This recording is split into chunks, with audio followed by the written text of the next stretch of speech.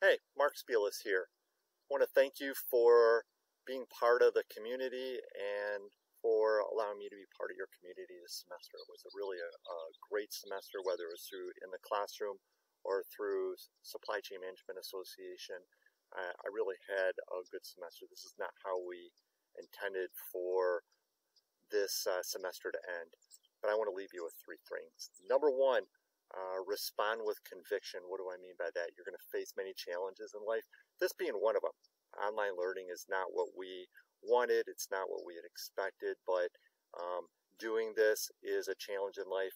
Uh, overcome those challenges, don't make excuses for them based on the challenge. Just find a way to get to your desired outcome.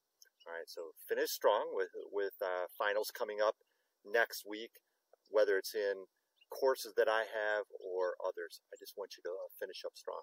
Number two, sharpen the saw.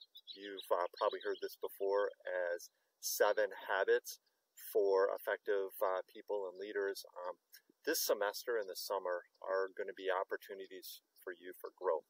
And even if your internship or your job has been uh, rescinded or postponed, use this as an opportunity to gain more training. So whether it's certifications, whether it's accreditations.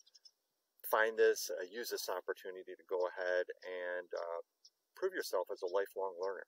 Um, this is a time to prove that you're willing to uh, adopt learning even under these circumstances. Okay, so whether that's uh, reaching out to your employer who maybe has pushed out your start date, ask them for uh, additional assignments or some additional training.